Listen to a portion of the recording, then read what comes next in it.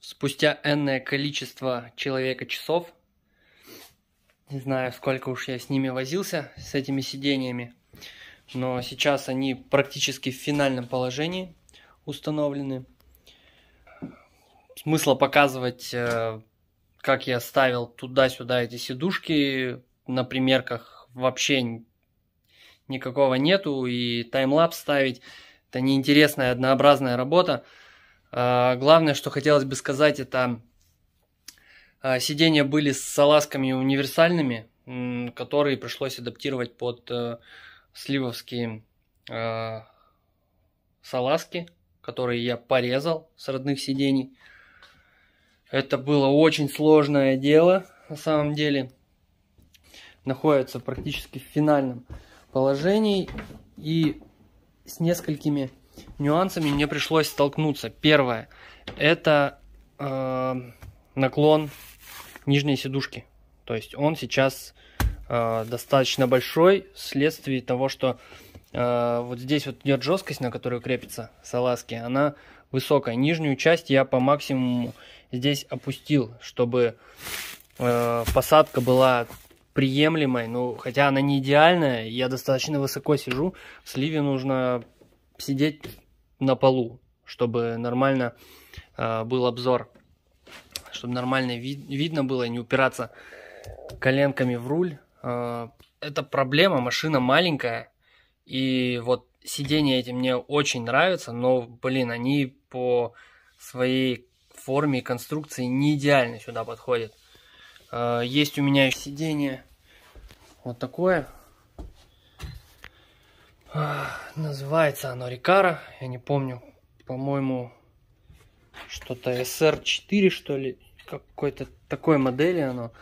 А, вот нижняя часть у нее намного тоньше. Сразу видно. А, по идее, можно было его поставить, но, блин, оно одно у меня всего. В Сильвию хотелось два одинаковых седла. Пока, значит, поставлю эти. А Recaro я закину, наверное, в Skyline 32. Там не так критично, не так важно это. Что хотелось бы позже сделать, ну, наверное, все-таки поменять на какие-нибудь Low Max ы эти сидушки, чтобы улучшить посадку. Ну, этот сезон, наверное, машина поедет на этих седлах. А, пассажирскую сидушку я сделал прям по максимуму низко, но есть один нюанс, там на полу э, штамповка. Вот в этом месте, где правая часть сидушки, штамповка кузова под... Э, и получается сиденье э, опустить ниже невозможно, потому что там как раз плоскость пола идет. Э, водительское же сиденье, там в этом месте нету э, такой штамповки. Ну, и оно сейчас по максимуму сидит вниз, и все равно мне кажется, что высоковато. Я цепляюсь ляжками об руль. С педалями не так удобно, как могло бы быть. Даже с родными сиденьями было удобнее. Ну, родные сиденья вы видели. В хлам просто, в щи с собакой э, сожраны были. По салону. Э, до собрать осталось это дверные карты ну, как видите, сколько лет переездов по всяким гаражам и складам. Эти карты просто в щи грязные. Я не знаю, чем их отмывать. Есть косяки. Вот, например, здесь вот трещина. Здесь вот отклеилась. И это надо все дело взбадривать. На тряпку, в принципе, мне как бы фиолетово. Потому что э, по задумке я хочу эти вставки на машине сделать э, под ткань Bright. То есть, чтобы это было все цвет сидений. Сиденья сейчас перетянуты в пленку. Ну, позже вы увидите, как это все выглядит. Э, также я заказал чехол на КПП, тоже брайдовский, э, с такой расцветкой. Чтобы вот гармонично смотрелось. А, в догонку мне нужно еще купить а, несколько метров ткани. Плюс я хочу этой же тканью сделать вставки в Задний диван. Сейчас постараюсь показать, если там что-то видно будет. Темно. Вот, задний диван. Э, вот эти вот вертикальные вставки хочу сделать из ткани Bright. Потому что э, есть проблема. Вот здесь у меня прожженная сишками. Кто-то здесь курил. То есть вот эту часть вот так вот до этого квадрата, может быть выше, пока точно не знаю, надо посмотреть, как будет смотреться. Возможно, до вот этой вот части я сделаю также с брайдовской вставкой. Ну и, возможно, вот эти части задних карт тоже обклею, по примеру, как сделаны передние. Не думаю, что это будет проблемой. Полнейший трешняк творится в гараже. Я из последних сил пытаюсь доделать салазки. Переварил крепление.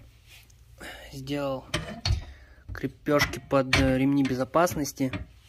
Сейчас уже все это дело обточил. Немножко привел вид божеский, чтобы покрасить. Потому что если покрасить прям на сварочные швы, будет совсем отвратительно выглядеть. Ну так, самые видные места почистил. Я не знаю, наверное, сегодня вот я занимался часа 4, и до этого, наверное, не 5. Просто миллион раз пришлось вытащить, засунуть э, эти сидушки. Сейчас в капюшоне работал на башке. Кипиш. Ну а так. Осталось еще кое-какие крепежки покрасить в салоне. Это вот э, крепление заднего дивана. Пластика у меня почему-то нету, не знаю. Не помню вообще, был с тысячами этих переездов с гаража в гараж. Там, наверное, половина машины растерялась. Тоже эти штуки бы я, конечно, поставил, если бы их возможно было найти. С этой стороны такой же трэш, грязь. Дверные карты в хлам, конечно. Надо сделать их, почистить, поставить и уже выкатить машину из гаража. Это будет, скажем, еще один шаг к тому, чтобы поехать на выставку, поставить машину. Всем привет! Новый день подготовки сливы к выезду на мероприятие, на импровизированную выставку, скажем так. Сегодня я занимался радиатором, скинул радиатор, слил с него жижу всю, э, обмотал вот в картон, чтобы при транспортировке не покоцать ядро. И буду отдавать сварщику на переварку креплений. Зачем переваривать крепления? Все просто. Радиатор от 32 Skyline. По высоте он как раз как на сливе радиатор. А, и выходы у него с одной стороны. Ну, напомню, что SR, если бы я четырки брал радиатор такой же, на SR выход э, и вход с разных сторон. Поэтому здесь стоит радиатор 32 С небольшими переделками, я думаю, все влезет норм. Салазки, кстати, на обе сидушки готовы, уже установлены. Э, ждут момента, когда я их поставлю в салон. Ну, пока с салоном я закончу. Э, помывки и прикручивание всяких панелек, прочих мелких. Сейчас это выглядит. Под ремень приварил к полозьям. Все очень близко, очень рядом. Было очень сложно все это дело настроить. Получилось почти как по заводскому, но вот немножко со смещением, потому что сидушка, она с одной стороны, вот когда с каркасом ставишь, она вот этой частью упирается сильно, пришлось немного выдвинуть. Вторая часть салазок сделана из двух салазок, потому что э, на кузове имеется, э, я не знаю, уклон, что ли, куда ставится а, левая часть полозьев, вот она вплотную, а правая, получается, должна быть на вот такой вот высоте, там сантиметра два с половиной. И пришлось взять старые полозья, их немного переделать и к ним уже приварить универсальные полозья от сидушек.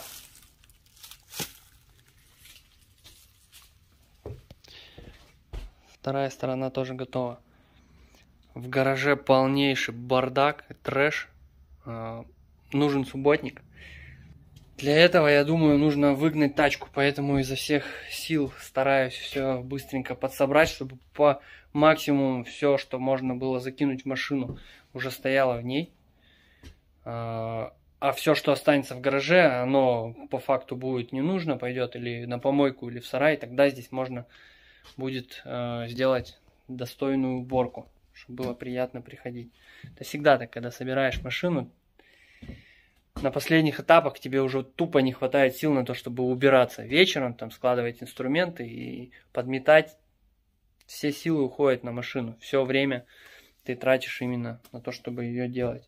Еще один момент. Сегодня отвозил на переделку радиатор.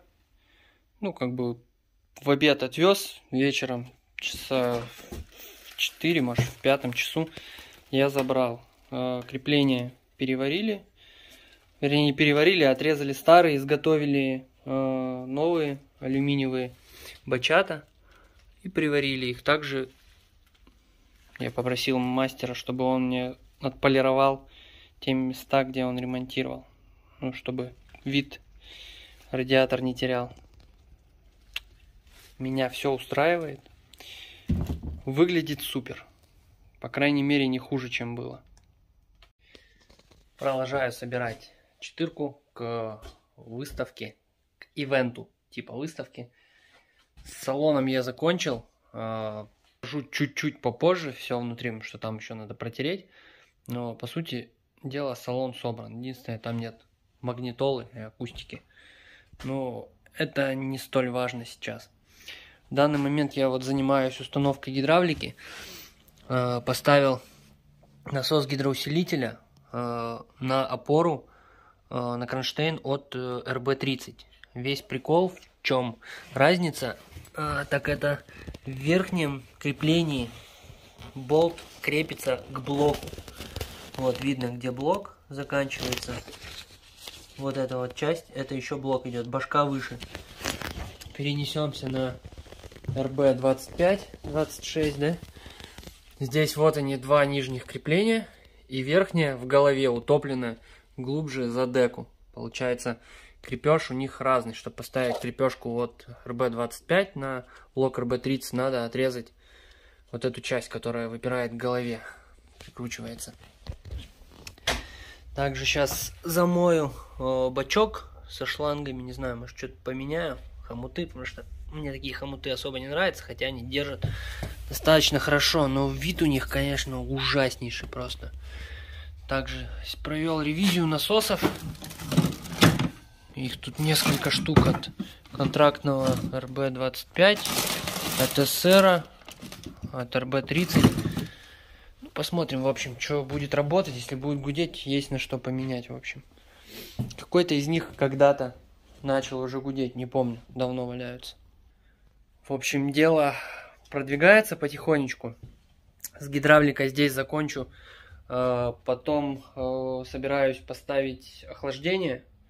Дальше прокачать тормоза, прокачать сцепление и далее багажником. В багажнике нужно будет навести также порядок. Первым делом сделать крепление под аккумулятор, который будет здесь стоять. Пытался я его туда поставить, в эту нишу, ну, как говорил уже раньше, что тут места совсем мало с платформой. Он сюда не лезет, да, и без платформы тоже совсем неудобно. Поэтому будет стоять здесь. Э, полик нужно будет подрезать под аккумулятор и обшить его карпетом, чтобы это все смотрелось более-менее нормально. Далее, перед выездом мне нужно будет еще оптику поставить. Наверное, выезжать я буду на оптике на сонаре. Под нее сделать проводку. Все это наладить, потому что сопли сейчас висят. Вот они. И это все нужно будет каким-то образом уложить под э, планку телевизора. В общем, план на несколько дней э, такой. Думаю, за неделю я все это дело сделаю и буду выгонять тачку на улицу. Но этого нужно будет еще, конечно, замерить по высоте все стороны, потому что стойки накручены были так от балды, когда ставил. Сделать э, более-менее нормальную высоту, приемлемую, и выехать из гаража по скатам, не поубивать себе все под днищу. Ну и передвигаться, чтобы было приемлемо, соответственно, вид, чтобы был нормальный. В общем, что-то средненькое э, постараюсь найти во всем этом. Но предполагаю, что, что придется мне назад ставить проставки, когда я опущу тачку ниже. Колеса по-любому завалятся. Сейчас без проставок. На 10,5 G колеса. Посмотрим, как опустится. Спереди, кстати, на проставках потому что суппорта цепляет форма такая у диска, что без проставки он сюда не лезет. В общем, как-то так. Погнали дальше. Уже 4 часа примерно нахожусь в гараже. Первый раз взял камеру в руки. Э, занимаюсь сегодня э, тормозами, прокачкой. Делаю все один. Благо у меня есть некоторые приспособления, которые мне это позволяют делать. Это когда-то заказанная на Алиэкспрессе за там 20 рублей э, насадка для того, чтобы на сливной сосок ее одевать со шлангом и бутылкой.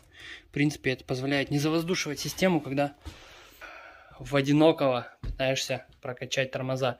Задний контур я уже пролил, ну, грубо говоря, он проливается без всякой прессовки. Э, пока сняты задние колеса, я еще кое-что сделать. Это немного настроить кайловеры. Пришлось, конечно, попотеть, чтобы раскрутить гайки. Нижняя вообще тут закишая была, пришлось ее даже греть. Верхнюю более-менее как бы расшевелил одним ключом.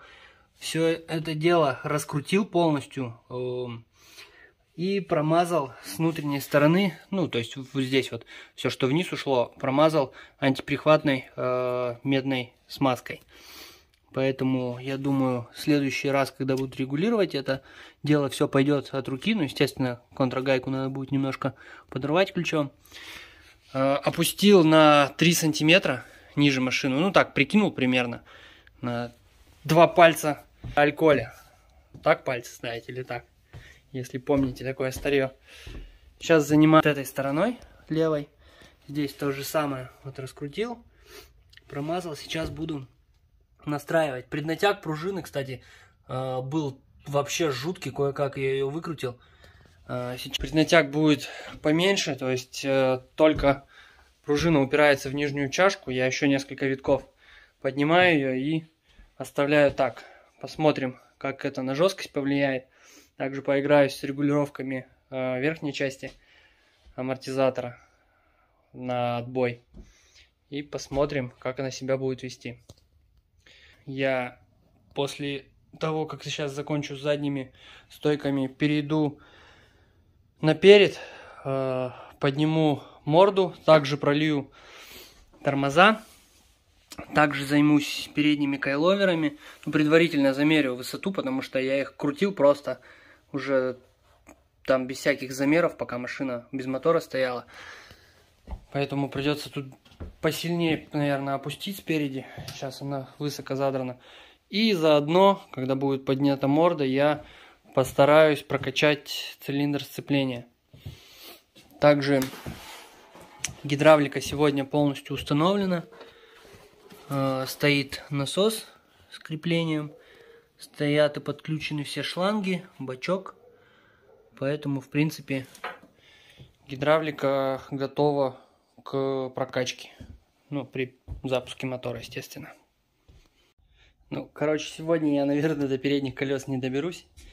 Меня тут затянуло вообще жутко. А, вспомнил, что у меня рычаги лежали косые под саленблоки аджесовские.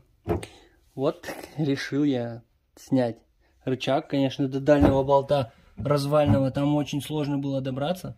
Там полоборота воротка, такого полоборота, там градусов, не знаю, 7-10. И вот таким вот образом пришлось откручивать. Немного подкисшее было. Сейчас вот буду ставить этот рычаг на правую сторону, наверное, сил уже сегодня не хватит. Сегодня накину только левый рычаг, а передом буду заниматься уже в другой день. Все, в общем, постепенно. Так, с одной стороны, страдания закончились. Кое-как я поставил этот рычаг.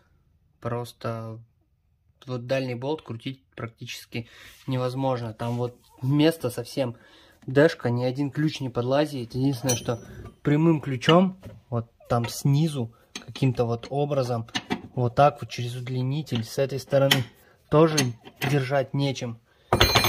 А, короче говоря, там потому что подрамник и еще что-то там упирается. Кое-как я поставил этот рычаг.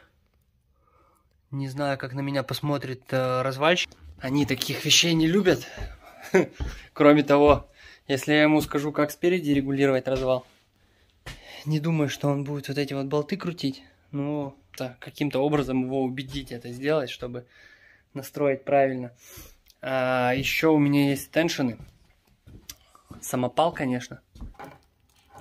Вот такого рода рычаг. То есть, ну, за основу взят какой-то рычаг GS-овский, даже не помню какой там. И задняя часть от теншена, на нем нарезана резьба, дополнительная контрагайка стоит. И смещающие втулки проточены. То есть кастер мне пока что будет чем нас. Естественно, это временное решение. Потом пойдет на Skyline, а себе возьму какие-нибудь более-менее нормальные рычаги с изгибом, чтобы колеса в общем не цепляли при вывороте.